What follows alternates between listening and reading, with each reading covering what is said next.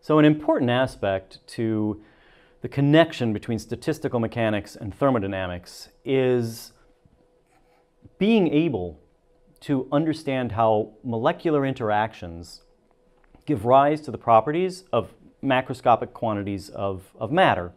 And Debye-Hückel theory, and we'll go through it in two videos here, is one means to understand how fundamental interactions affect macroscopic thermodynamic quantities, and in particular for electrolytes. And so the, the theory carries the name of two different uh, physical chemists or physicists. It depends uh, which crowd you're talking to who wants to adopt them. Um, Peter Debye on the left and Erich Hückel. And they were both concerned with the question of how do ions distribute themselves in a dilute solution? And being uh, acquainted with physics, of course, they were quite good at making approximations that allow you to make progress.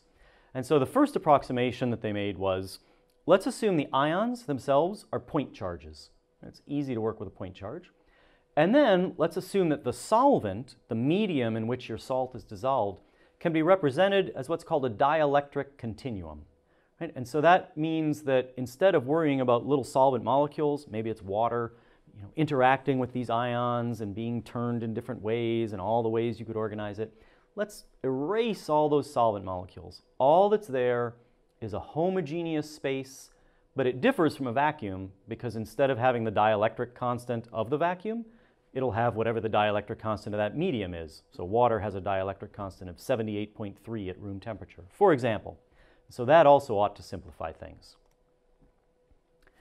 Okay, and so to begin and to ask that question, where are the ions? Let's, let's pick a given ion. So consider a central ion, I'll call it I. And near I itself, the density of ions of opposite charge ought to be enriched compared to opposites of the same charge, right? Because opposite charges attract. And we know that the universe likes to be at lower energy than at higher energy. On the other hand, uh, and, and so the density of ions of like charge is depleted by sort of that same rule.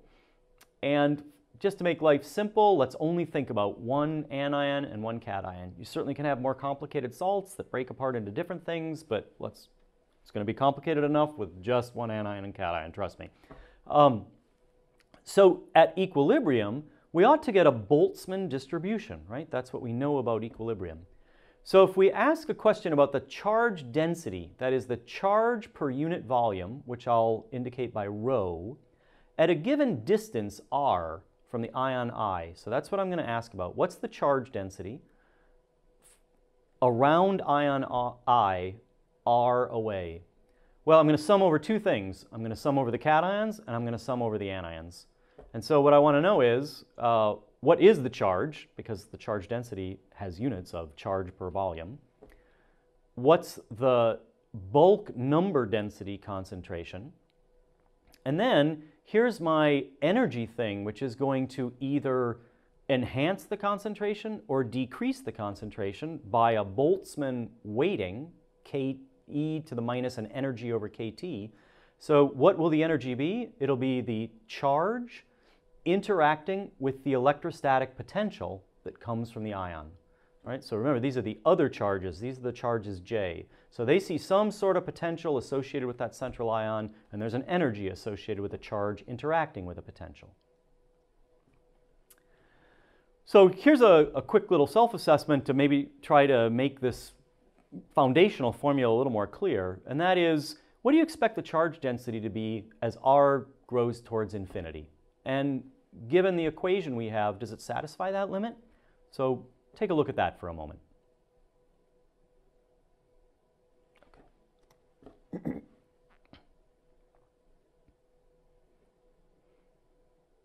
So here's the answer to the self-assessment, namely that there should be no charge density, that is there are equal amounts of positive and negative charge.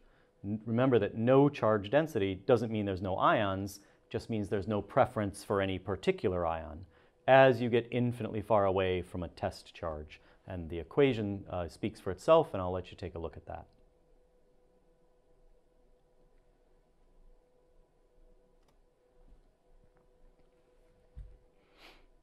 in order to make further progress on this problem, we now need to know something about the potential that appears in that summation. And so the Poisson equation is a fundamental equation of physics that relates the electrostatic potential to charge. And we're working in a, a convenient system where we're considering a sphere around a central point. And so within spherical coordinates, if you write the Poisson equation, it looks like this. It's 1 over r squared ddr r squared d of the electrostatic potential dr.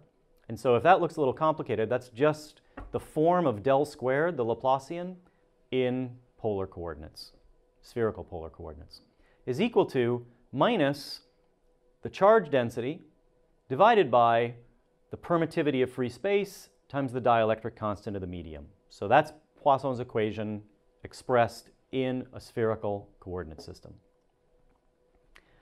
And if we have a weak potential, right, a weak electrostatic potential, then I can expand this exponential, e to the minus whatever, to be 1 plus minus whatever, so 1 minus whatever. So that's all I've done here. I've replaced e by 1 minus q psi over kt.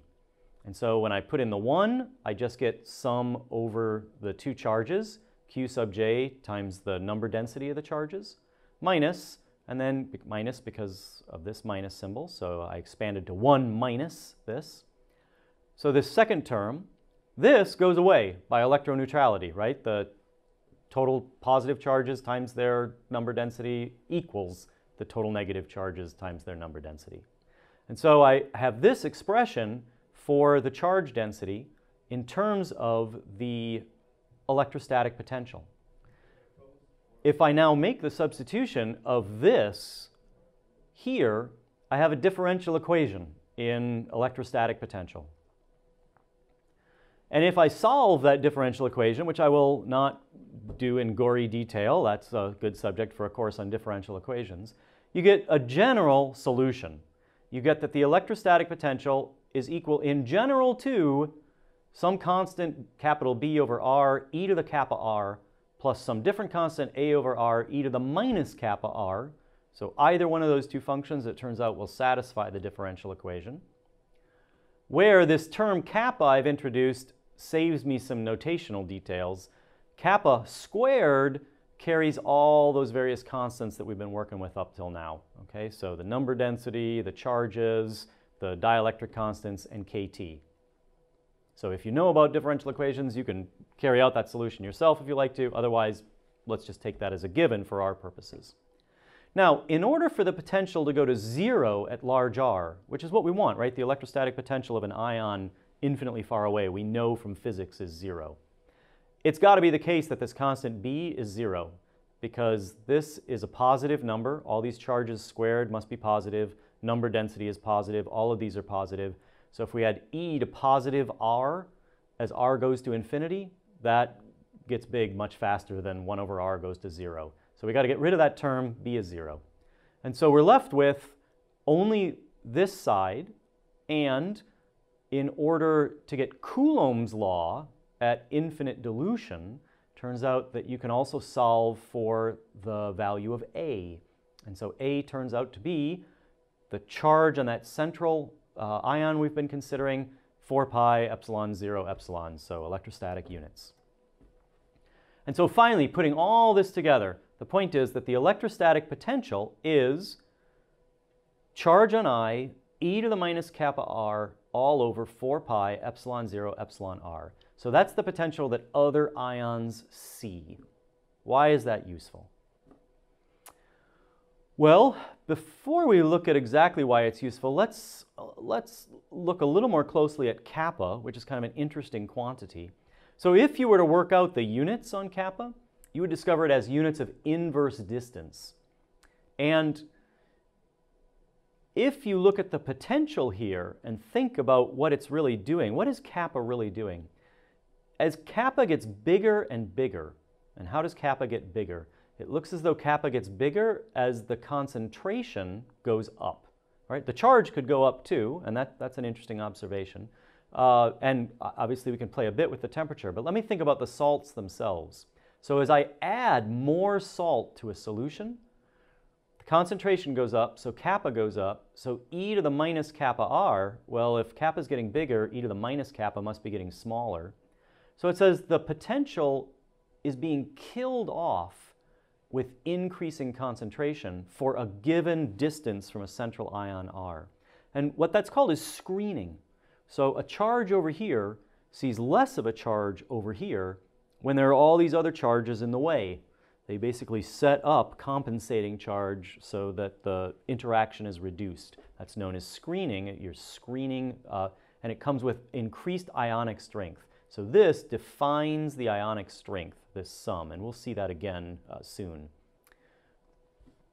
In addition, you can show, and I, I, won't go through it because it's kind of a lengthy uh, derivation, but one can show that 1 over kappa, because kappa has units of inverse distance, is the distance at which there's the highest probability of finding an, a counter ion compared to an ion of like charge, right? So it's the point where you are, it's most preferred to have a, an ion of opposite charge compared to an ion of the same charge.